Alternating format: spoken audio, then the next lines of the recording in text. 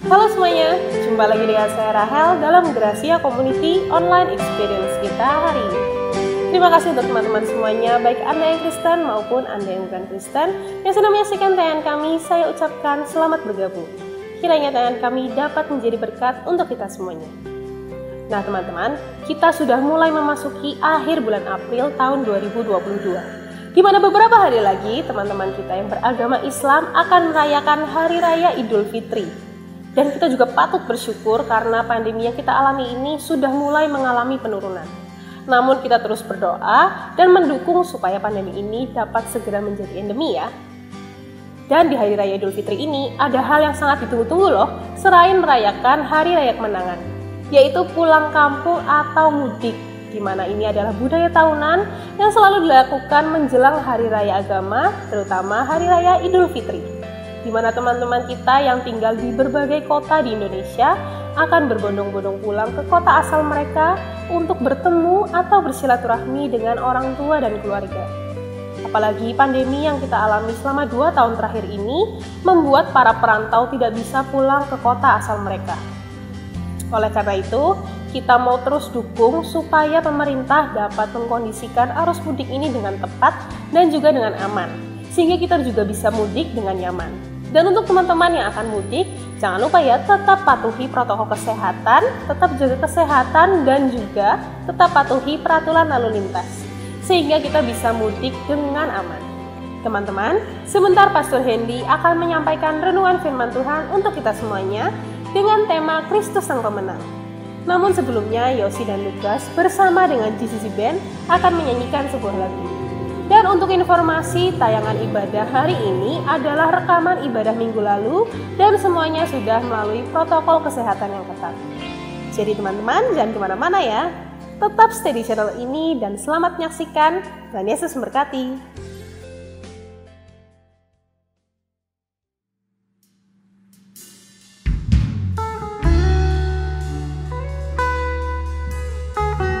Sebab kami bersyukur buat kasih setiamu Tuhan. Tak ada kasih yang melebihi kasihmu dalam setiap hidup kami. Inilah kerinduan kami. Kami mau menyembah. Kami mau bersyukur sepanjang hidup kami.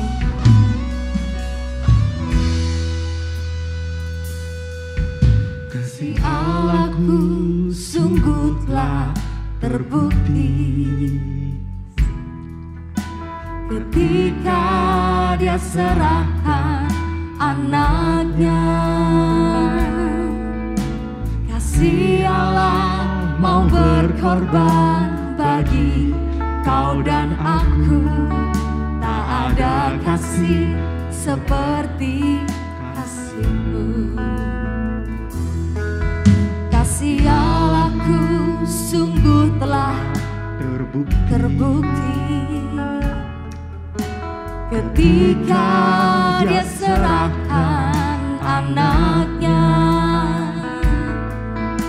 kasih Allah mau berkorban bagi kau dan aku. Tak ada kasih seperti kasih mari bersyukur. Bersyukur bersyukur bersyukurlah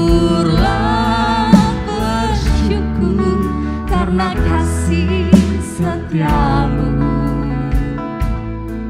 ku sembah ku sembah ku sembah dan ku sembah selama hidupku ku sembah engkau Tuhan.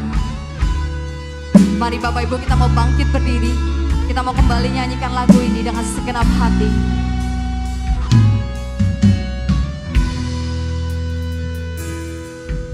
Kasih Allahku sungguh telah terbukti. Tuhan Ketika dia serahkan anaknya Kasih Allah mau berkorban bagi kau dan aku. Tak ada kasih. Mari kita lebih lagi katakan kasih Allahku sungguh telah terbukti. Ketika dia serahkan anaknya kasih Allah mau berkorban bagi kau dan aku. Tak ada kasih seperti mari bersyukur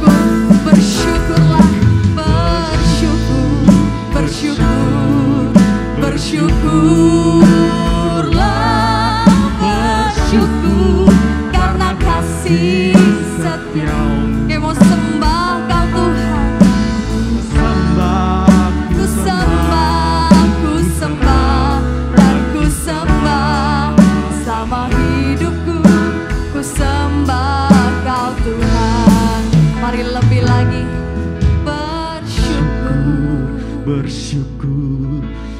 bersyukurlah Sebab apa pun yang terjadi dalam setiap hidup kami Tuhan karena kasih Pengorbananmu yang besar. Melebihi apa pun Tuhan ku sembah ku sembah ku sembah Dan ku sembah selama hidupku Mari dengan satu suara. Kita mau bersyukur, bersyukur bersyukur.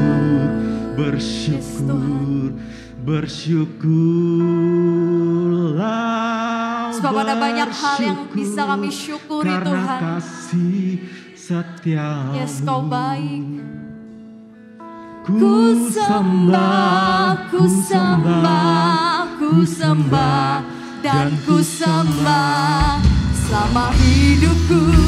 Ku sembah kau Tuhan.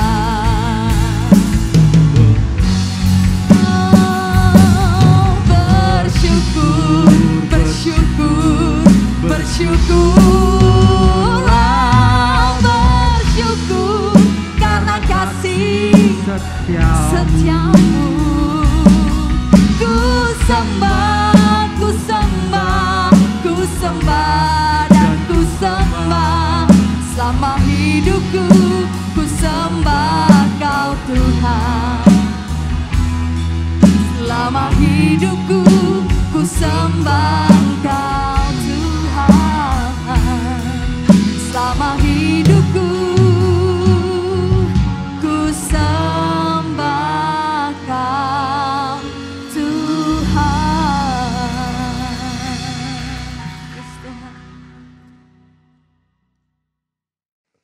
Selamat pagi Bapak Ibu Saudara-saudara semua. Ya. Kita bersyukur kepada Tuhan pada minggu pagi, minggu siang yang cerah ini kita bisa beribadah kepada Tuhan.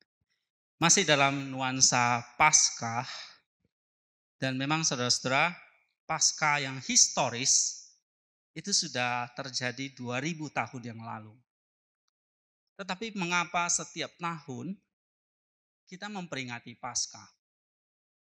Mengapa gereja ini memperingati Paskah? Dan kita ikut merayakannya. Nah, saudara-saudara, karena hidup kita itu adalah Paskah itu sendiri. Paskah itu bukan hanya dialami oleh Kristus, atau dalam perjanjian lama itu dialami oleh bangsa Israel, tetapi Paskah itu juga dialami oleh setiap pribadi kita kita lahir, kita menjadi tua, lalu kita mati, itu bukan hanya sekedar proses alam secara natural, ya memang kita ada di dunia ini. Tapi kita ada di dunia ini bukan hanya untuk lahir dan mati. Tetapi kita ada di dunia ini untuk mengalami Paskah bersama dengan Kristus. Dia menjadi alfa artinya dia menjadi pasca yang pertama buat kita. Tapi dia juga adalah omega. Artinya dia akan menjadi tujuan akhir dari hidup kita. Sehingga kita perlu mengalami pasca bersama dengan dia. Dengan pasca maka kita bisa mencapai keserupaan dengan Kristus. Dan itulah tujuan hidup kita. Dan itulah mengapa Kristus itu datang ke dunia. Kita baca dalam 1 Korintus 15 ayat 26. Musuh yang terakhir yang dibinasakan adalah maut. Sekali lagi, musuh yang terakhir yang dibinasakan adalah maut. Nah, ini adalah satu konklusi pasca kita. Satu kesimpulan kemenangan iman kita bahwa ada musuh yang terakhir sudah yang sudah dikalahkan, yaitu kematian. Nah, ini berarti saudara-saudara Kristus datang membebaskan kita dari kematian. Tetapi kematian itu adalah musuh yang terakhir. Sehingga ini ada musuh-musuh yang sebelumnya. Dan ini menjadi penghalang kita untuk mencapai keselamatan atau kesempurnaan seperti dia. Nah musuh yang pertama manusia itu adalah iblis. Yang kedua adalah dosa. Dan yang ketiga adalah maut atau kematian. Nah begitu Kristus mengalahkan musuh yang terakhir, yaitu maut atau kematian, maka otomatis iblis dan dosa itu telah dikalahkan. Nikolas Kabasilas menyatakan begini, Kristus datang berinkarnasi adalah untuk memurnikan kodrat atau kemanusiaan kita, natur kita yang kotor. Kristus mati itu untuk mengalahkan dosa. Oleh karena apa saudara? Kita tahu dia rela ditangkap, disiksa, menderita, bahkan dia mati di atas kayu salib. Itu adalah ketaatan total dari Kristus kepada Allah. Dan ketaatan itulah mengalahkan dosa. Dosa artinya kita tidak taat kepada Allah kita melanggar hukum Allah. Dan akibatnya kita mengalami kematian. Tetapi puji kepada Tuhan, kebangkitan Kristus mengalahkan kematian. Jadi saudara-saudara, ketiga penghalang atau ketiga musuh di dalam kodrat manusia, yaitu iblis, dosa, dan kematian, itu sudah dikalahkan oleh Kristus. Dan itu diberikan kepada kita semua hari ini.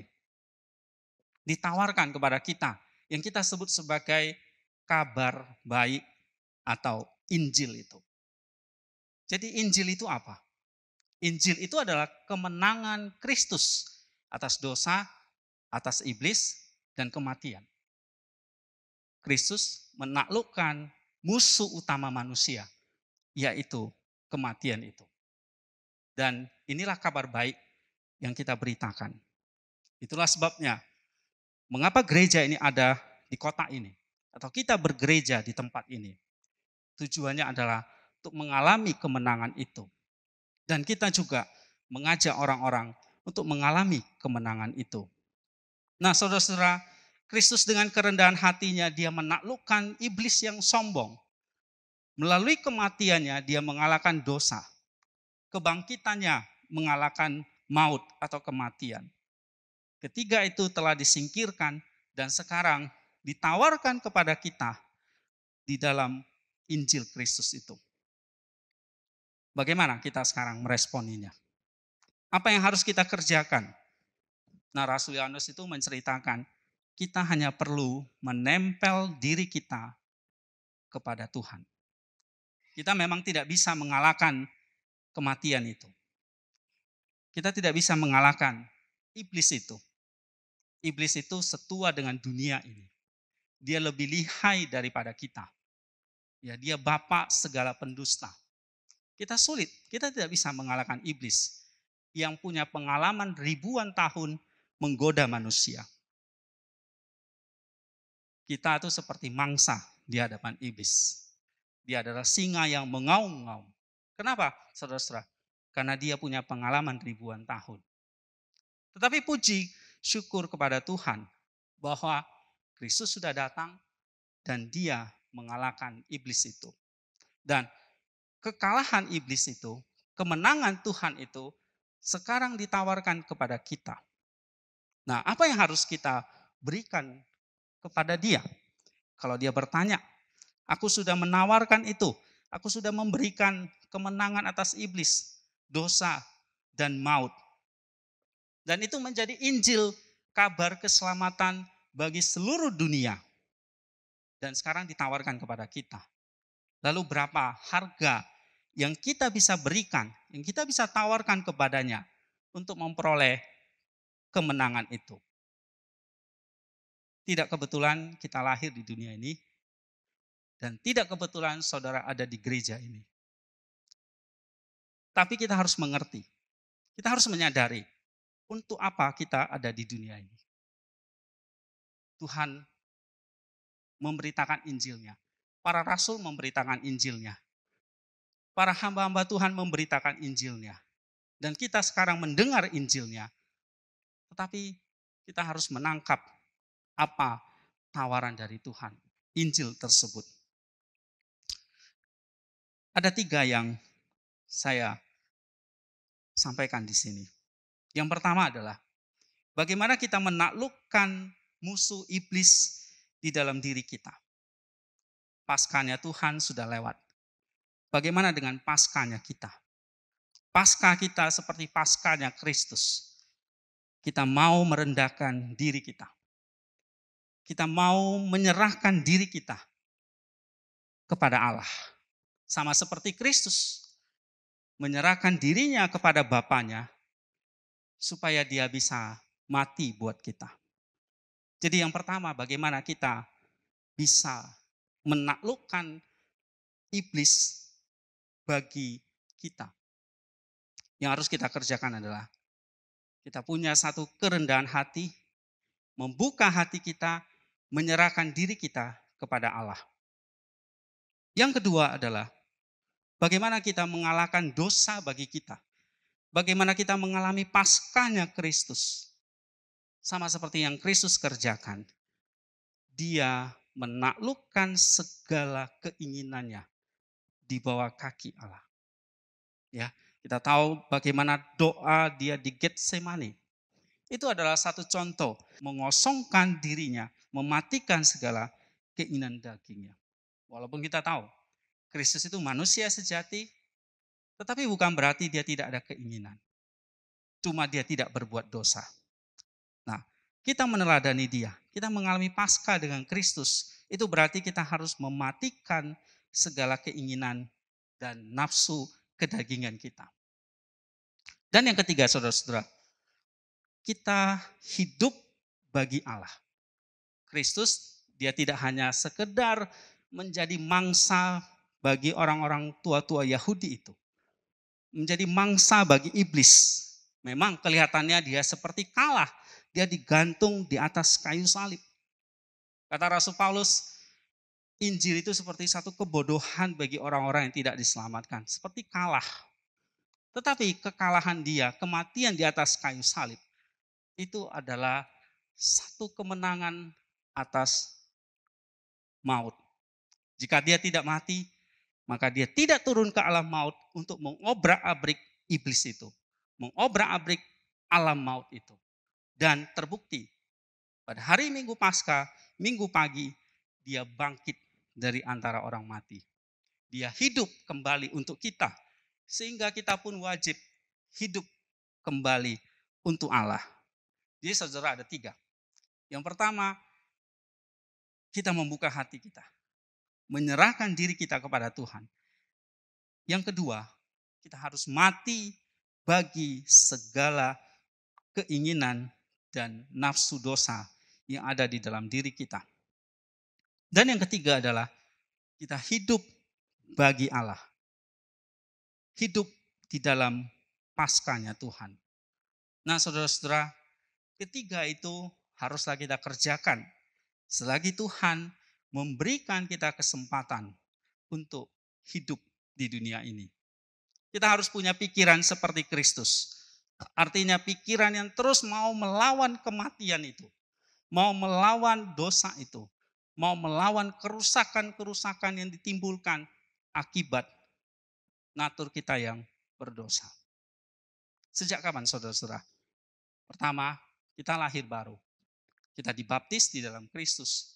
Itu menunjukkan kita tuh sudah mengalami paskanya Tuhan. Tetapi tidak cukup ketika kita sudah dibaptis atau kita menjadi orang Kristen, nah kita harus mengalami satu perjalanan yang masih panjang. Sama seperti Kristus, dia tidak cukup hanya datang ke dunia ini saja. Dia harus menjalani satu proses kehidupan yang panjang. Sampai pada waktunya dia ditangkap. Kemudian dia disalibkan. Dan pada waktunya, pada genap tiga hari sesudah kematiannya, dia bangkit dari antara orang mati. Jadi ada satu proses yang kita juga harus alami. Ada satu pasca yang kita alami. Dan memang pasca itu artinya adalah seperti sebuah perjalanan. Kalau kita lihat dalam cerita perjanjian lama, pasca itu artinya bangsa Israel itu dilewati, luput dari malaikat maut. Nah sekarang kita yang hidup di zaman ini, dikatakan kita mengalami pasca, artinya bagaimana kita dilewati oleh malaikat maut itu. Bagaimana kita dilewati oleh malaikat maut itu. Dan kita datang kepada Kristus, kita melakukan satu perjalanan, satu journey gitu. Jadi hidup kita itu seperti sebuah perjalanan panjang untuk melewati malaikat maut itu, yaitu kematian itu sendiri. Dan itu diberikan kepada kita. Oleh sebab itu saudara-saudara, ketika kita sudah percaya kepada Kristus dan memberi diri dibaptis, dan ini adalah waktu selanjutnya kita melakukan satu perjalanan panjang. Sampai akhirnya kita boleh tiba di Bukit Golgota, kita disalibkan, dan kita dibangkitkan oleh Tuhan. Nah, apa artinya kita menderita? Kita disalibkan dan kita bangkit bagi Allah. Itu adalah pasca kita. Artinya saudara-saudara, kita harus mengalami yang namanya tadi tiga. Mematikan dosa, hidup bagi Allah, dan merendahkan diri kita di hadapan Tuhan. Nah, oleh sebab itu saudara-saudara, ketika kita menghidupi pasca kita, pertama kita harus menyadari apa sih yang sesungguhnya terjadi di dalam diri kita. Bagaimana kita menghidupi apa yang Tuhan sudah berikan kepada kita. Bagaimana kita meresponi, menangkap apa yang Tuhan sudah berikan kepada kita. Jadi kita harus menyadari apa yang terjadi di dalam diri kita. Dalam kejadian pasal 6 ayat yang ketiga, rohku tidak akan selalu bekerja dengan manusia karena ia juga adalah daging. Nah ayat ini menjelaskan kepada kita bahwa ada dua kekuatan yang berlawanan di dalam diri kita. Tapi satu kesadaran yaitu manusia itu. Ya. Ada dua kekuatan yang berlawanan yaitu keinginan daging dan keinginan Allah. Jika kita berpihak pada roh Allah, maka kita itu disebut rohani. Tetapi jika kita berpihak kepada daging, maka dia adalah daging. Jadi kata daging di sini bukan berarti daging secara fisik atau rohani di sini bukan dalam pengertian yang umum. Tapi maksudnya di sini adalah bagaimana kita bisa melawan, memurnikan keinginan-keinginan jahat di dalam diri kita. Daging adalah segala keinginan yang bertentangan dengan hukum Allah atau bertentangan dengan kehendak Allah. Dan sebaliknya, roh itu menunjukkan, rohani itu menunjukkan kita berpihak melakukan apa yang menjadi kehendak Allah atau kehendak dari Roh Kudus. Nah, saudara-saudara, memang kalau kita berpihak kepada daging, roh kita itu enggak otomatis tercabut di dalam tubuh kita. Tetapi roh kita itu diperbudak. Jiwa kita diperbudak. Dan dosa memang memperbudak kita sampai kita mati. Jadi saudara kita harus menyadari ini. Bahwa roh tidak hilang sama sekali dari daging. Tetapi diperbudak. Kalau kita berpihak kepada daging. Maka roh kita itu akan menjadi kuk, akan melayani daging seperti seorang budak melayani tuannya. Dia akan menciptakan segala macam fantasi, kesenangan untuk diri kita, untuk daging kita, untuk roh kita. Kenapa saudara-saudara? Karena kita berpihak kepada daging itu. Tetapi sebaliknya, jika kita berpihak kepada roh Allah, kepada Tuhan, kita mau menyerahkan diri kita kepada dia, maka daging itu akan tunduk kepada roh. Seperti apa sih contohnya? Nah saudara-saudara, sering kali kita diajar tentang doa. Berpuasa, Tuhan sendiri mengajarkan tentang berjaga-jaga. Bahkan kita diajarkan oleh Rasul Paulus seperti untuk askesis, kerja keras untuk menaklukkan daging ini. Harus menyangkal diri, memikul salib, dan ikut aku. Nah itu semua diajarkan di dalam kitab suci. Diajarkan oleh Tuhan. Nah itu artinya apa? Supaya kita, daging kita ditaklukkan kepada roh Allah itu. Saudara, memang daging ini harus mati. Keinginan jahat ini harus mati. Supaya apa? Supaya Allah itu menjadi segalanya. Itulah sebabnya ada latihan-latihan rohani yang kita kerjakan. Ada doa yang kita panjatkan. Ada firman Tuhan yang kita dengar, yang kita baca. Ada puasa dan sebagainya. Ada disiplin rohani. Secara daging kita tidak suka melakukan itu. Kita malas misalnya untuk baca Alkitab. Kita malas mungkin untuk berdoa. Kita malas melayani dan sebagainya. Tetapi saudara-saudara, itu adalah keinginan daging kita. Daging kalau diberi kesenangan akan terus merasa senang dan tidak akan pernah puas. Tetapi itu menjerat kita, menggoda kita, dan membelenggu kita sampai akhirnya kita menyerahkan diri kita sepenuhnya kepada iblis, kepada dosa, dan pada akhirnya pada kematian. Jadi kita mesti waspada saudara-saudara. Ya, sehingga memang kita harus memaksakan diri untuk melakukan disiplin rohani itu. Tidak enak memang. Tetapi bagaimana supaya daging itu mati? Bagaimana Allah itu menjadi segalanya di dalam aku. Seperti kata Rasul Yohanes. Ya, Yohanes Pembaptis mencatat begini. Kristus semakin besar dan aku menjadi semakin kecil. Atau Rasul Paulus mengatakan, bukan lagi aku yang hidup, tetapi Kristus yang hidup di dalam aku. Nah ini saudara-saudara, ini artinya bagaimana Allah itu menguasai diri kita. Dia menjadi segalanya. Nah untuk itu kita harus mematikan keinginan daging itu. Nah bagaimana caranya? Secara praktisnya saudara, kita baca dalam Markus 9 ayat 42 Siapa saja yang menyebabkan salah satu dari anak-anak kecil yang percaya kepadaku ini berbuat dosa, lebih baik baginya jika sebuah batu giling diikatkan pada lehernya, lalu ia buang ke dalam laut.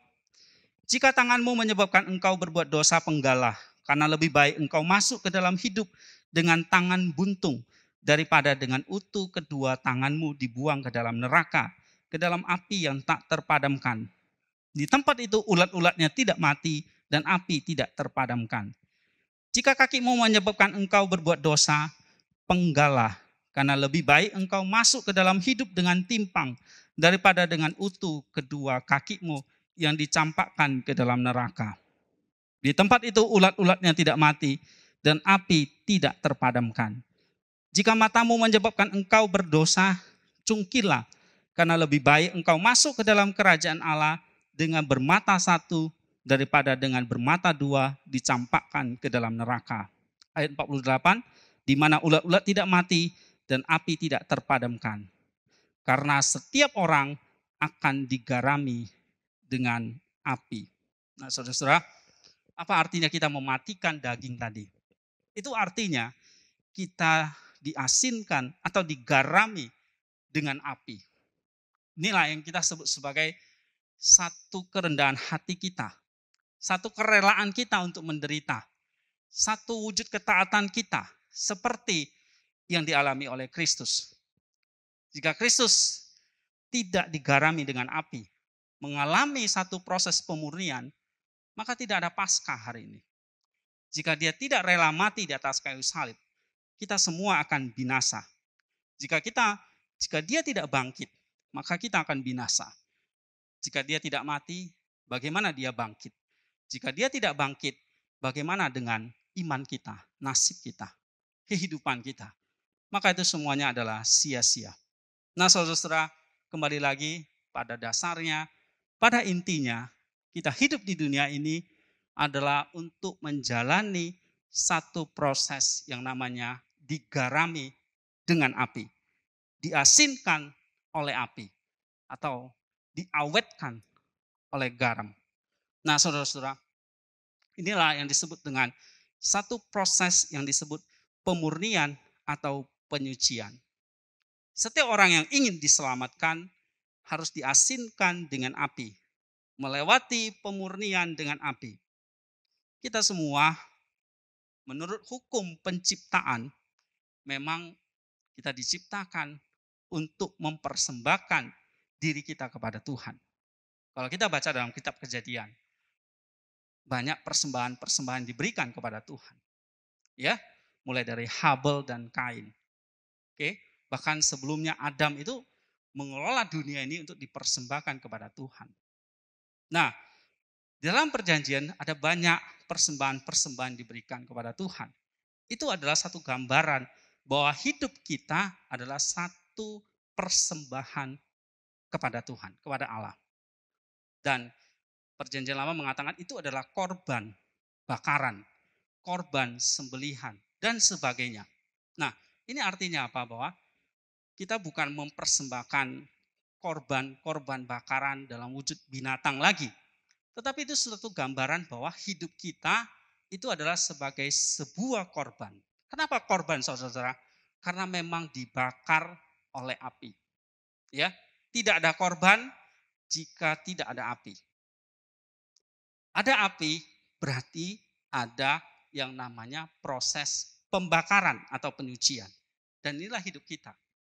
Jika kita ada, itu berarti memberikan persembahan itu kepada Tuhan. Dan Tuhan menginginkan satu persembahan yang murni, yang tanpa cacat celah. Dan itu adalah harus melalui suatu bakaran atau satu korban. Supaya apa? Supaya itu benar-benar dimurnikan, disucikan. Ya, jadi seperti sebuah api fungsinya untuk membakar kita. Api untuk membakar segala perasaan kita. Membakar segala keegoisan kita. Api berfungsi untuk membakar segala dosa-dosa atau nafsu kedagingan yang ada di dalam diri kita. Nah, api itu sekarang bukan lagi api yang kita lihat di dalam korban-korban bakaran dalam perjanjian lama. Tetapi api itu sudah datang dalam bentuk anugerah Allah. Oke, apa dalam bentuk anugerah Allah.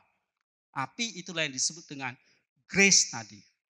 Jadi kalau di sini gereja ini disebut grace community, komunitas anugerah, ini adalah komunitas yang mengalami api dari Tuhan.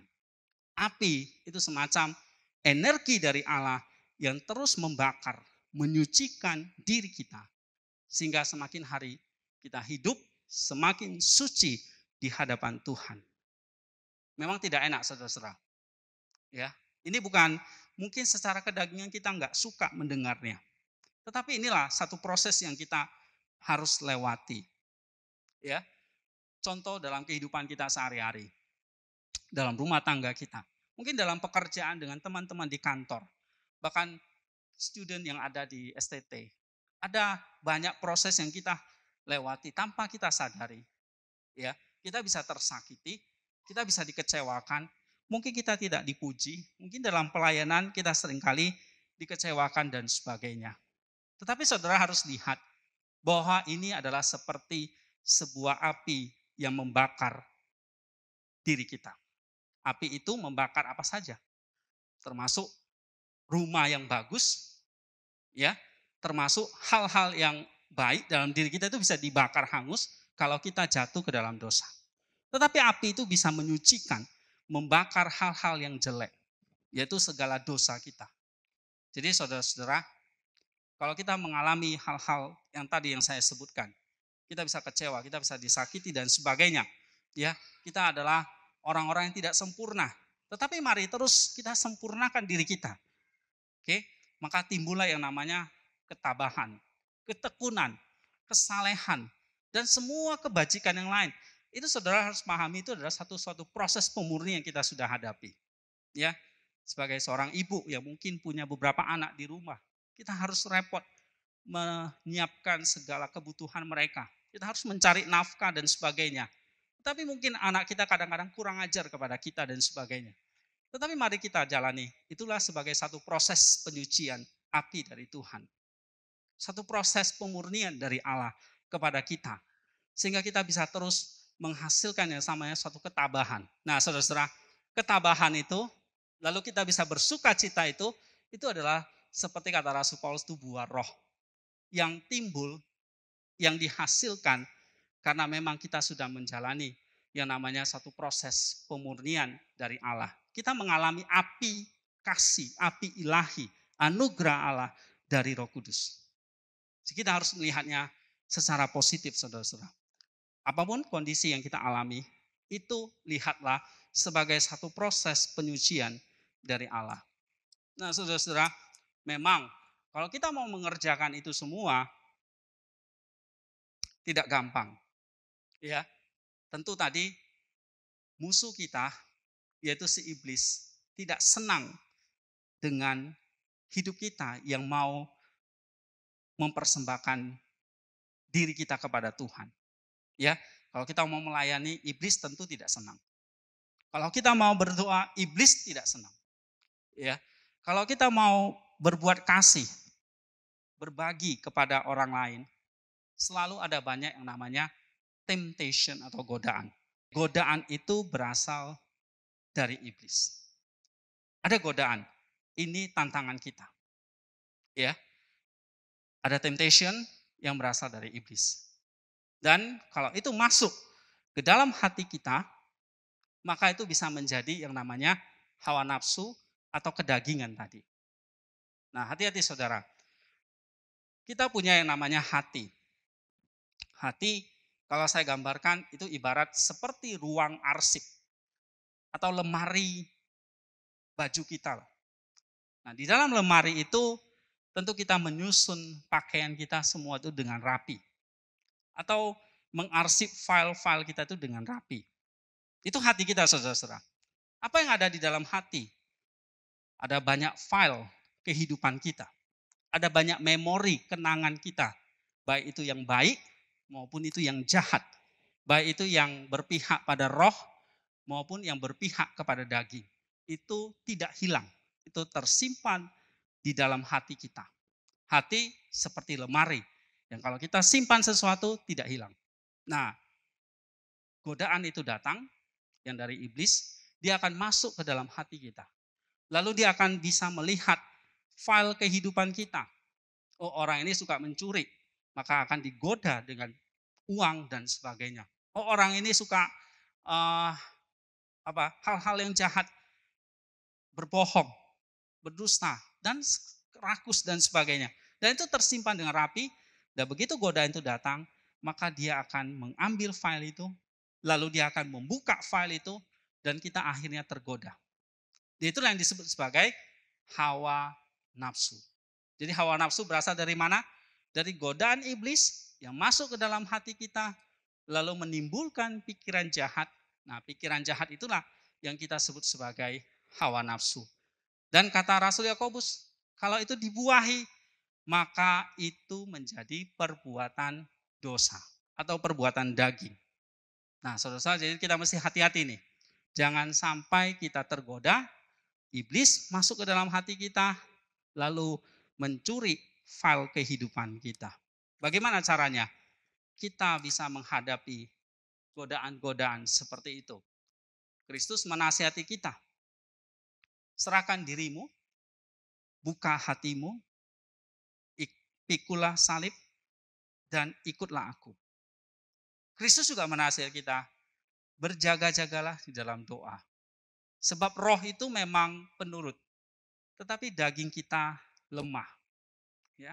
Kristus juga mengajarkan kita untuk berjaga-jaga, untuk berdoa, dan bahkan dia mengajarkan kita untuk melakukan yang namanya memikul salib itu. Nah, bagaimana kita mengerjakan dalam kehidupan praktis kita? Saudara, memang tidak ada tips dari saya. Tidak ada aplikasi yang praktis dari saya. Tetapi yang mau saya katakan adalah setiap orang tadi seperti yang dikatakan Bu Feni, itu unik adanya. Setiap orang punya cara bagaimana menghadapi segala godaan itu. Setiap orang punya cara bagaimana mengatasi temptation itu. Tetapi yang saya mau katakan di sini untuk menutupi khotbah saya, kita harus punya yang namanya cinta kepada Allah. Punya kasih kepada Allah. Nah memang kasih kita itu kadang-kadang bisa seperti sungai yang bergantung kepada curah hujan. Curah hujannya berhenti, maka kasih kita kepada Allah pun berhenti. Sungai itu menjadi kering. Tetapi mari kita belajar bahwa ada kasih yang seperti mata air yang dari gunung, yang tidak pernah berhenti memancar. Nah kita harus punya kasih cinta seperti itu. Punya cinta yang terus memancar dari dalam hati. Supaya cinta itu bisa mengalahkan segala godaan di dalam diri kita. Untuk punya cinta, saudara harus berdoa. Untuk punya cinta, saudara harus punya baca Alkitab. Itu 2000 tahun nasihat sampai sekarang ini. Dan itu memang adalah terbukti. Nah saudara-saudara, kita jangan meremehkan yang namanya segala macam latihan-latihan dari Tuhan. Ya, kita tidak hanya cukup mendengar firman Tuhan, tapi kita juga harus punya satu relasi yang dekat dengan Dia. Supaya apa, saudara? Supaya kita punya cinta kepada Allah itu cintai dia dengan usaha kita. Dengan mungkin harus dengan keterpaksaan kita. Tetapi lakukan itu.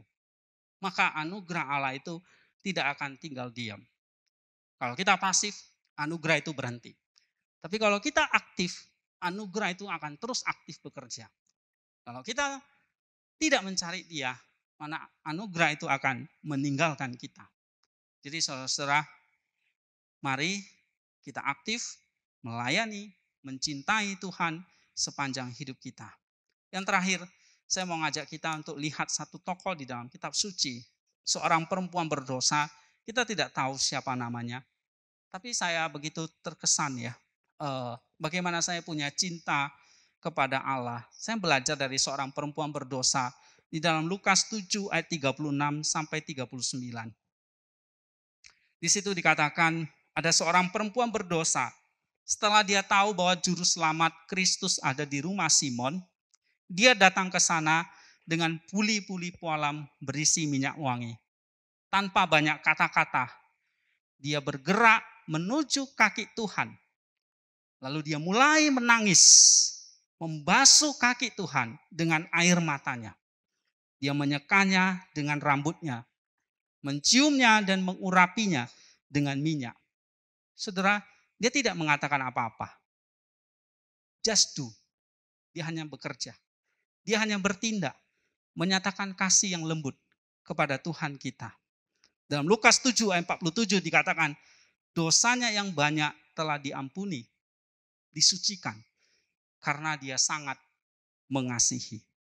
Jadi saudara, love, kasih itu adalah cara yang sangat efektif kita mengalami penyucian. Kapan kita akan berbicara lebih sedikit, tetapi lebih banyak bertindak. Dan melalui tindakan kita, kasih kita adalah kasih yang tulus kepada Allah. Nah saudara-saudara, mari kita belajar seperti perempuan berdosa ini. Punya kasih yang begitu besar kepada Allah. Dan pada akhirnya memang saudara-saudara, hidup kita adalah hidup satu kasih, satu persembahan kepada Allah. Satu perjalanan, satu partisipasi kita dengan Allah. Kita bukannya sekedar datang lahir, numpang di dunia ini lalu mati, dan tidak ada apa-apa. Tapi kita datang ini adalah satu, kita berperan serta bersama dengan Allah. Kita ada bukan kebetulan, tapi partisipasi kita dengan Allah. Seperti Kristus datang bukan sekedar untuk mati dan bangkit, tetapi mengajak kita supaya mengalami pasca bersama dengan dia. Kita akan mengalami apa? Mengalami Allah seperti kita, apa adanya. Allah akan mengalami, Allah akan dialami oleh kita menurut keadaan kita. Bagi kita yang menyucikan diri, kita akan mengalami Allah sebagai satu terang, satu sukacita. Tetapi bagi kita yang tidak menyucikan diri kita, maka kita akan mengalami Allah sebagai satu penyesalan, sebagai satu ratapan, satu kertakan gigi dalam penyesalan yang abadi. Saudara, pilihan ada di tangan kita. Anugerah sudah tersedia. Api itu tersedia. Injil itu tersedia. Gereja ini tersedia buat kita semua. Tetapi pilihan ada di dalam kesadaran kita. Kita mau menyucikan diri atau kita menolaknya. Pada akhirnya kita akan mengalami Allah sebagai satu kebahagiaan atau mengalami Allah sebagai satu penghukuman. Mari Bapak Ibu Saudara kita akan berdoa. Saya undang Bapak Ibu Saudara bangkit berdiri. Ya Tuhan, kami bersyukur untuk hari ini. Kami diingatkan, bukan hanya sekedar diingatkan, tetapi biarlah Roh Kudus boleh menyentuh hati, jiwa, dan perasaan kami yang mungkin berkecamuk, atau yang memikirkan banyak hal, atau kami memikirkan berbagai temptation, godaan yang mungkin kami hadapi sekarang ini. Dan apa pun itu ya Tuhan, tolonglah kami. Kami sadar kami adalah manusia yang lemah. Tetapi ada Allah yang ada di samping kami. Ada Roh Kudus yang selalu menyertai kami. Ada anugerah yang telah terus tersedia ketika kami dengan aktif mau mencari Tuhan. Berikan kami kasih-Mu supaya kami punya kasih seperti Kristus kasih seperti perempuan yang berdosa itu. Yang tidak banyak kata-kata, tetapi datang bersujud, menyekah, mengurapi, membersihkan kaki Tuhan. Ajarin kami punya kehidupan seperti dia. Dosanya banyak, tetapi kasihnya mengalahkan dosa itu. Begitu juga hidup kami ya Tuhan. Dosa kami mungkin banyak, sangat banyak tetapi biarlah kami juga punya kasih yang juga banyak untuk mengalahkan dosa di dalam diri kami bersama dengan anugerah Tuhan. Terima kasih ya Tuhan untuk kasih-Mu yang begitu berlimpah dalam hidup kami. Kami serahkan hidup kami ke dalam tangan-Mu. Di dalam nama Tuhan Yesus Kristus, Tuhan dan Juru Selamat kami, kami sudah berdoa. Bapak Ibu, kita akan menaruh tangan kita kita mau menerima berkat anugerah dari Tuhan. Tuhan memberkati dan melindungi engkau. Tuhan menyinari engkau dengan wajahnya dan memberi engkau kasih karunia. Tuhan menghadapkan wajahnya kepadamu dan memberi damai sejahtera. Berkat dari Allah Bapa, Allah Anak, dan Roh Kudus menyertai kita sekalian mulai hari ini sampai Maranatha Tuhan Yesus datang kembali kedua kalinya. Di dalam nama Tuhan Yesus Kristus, Juru Selamat kami, kami sudah berdoa. Amin. Terima kasih kepada Pastor Hendy serta seluruh tim Gracia Community Prokerto untuk pelayanannya sehingga ibadah online pada hari ini dapat berjalan dengan baik. Kalian semua luar biasa. Salam kompak selalu. Dan terima kasih juga untuk Bapak Ibu yang telah setia dalam memberikan persembahan sehingga program Gracia Community Prokerto dapat berjalan dengan baik dan juga dapat menjadi reflektor terang Tuhan. Kiranya Tuhan Yesus senantiasa memberkati dan memberikan kemudahan untuk usaha dan pekerjaan yang Bapak Ibu jalani. Dan bagi Bapak Ibu yang rindu untuk memberikan persembahan, bisa langsung memasukkan amplop ke kotak persembahan yang telah tersedia di gereja atau bisa langsung mentransfer ke nomor rekening yang telah tertera di layar Anda.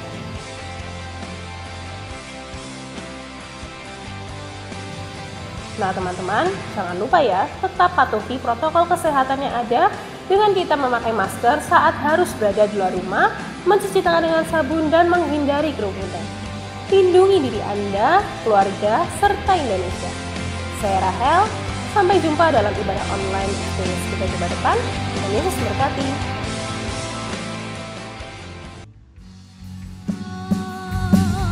bersyukur, bersyukur, bersyukur.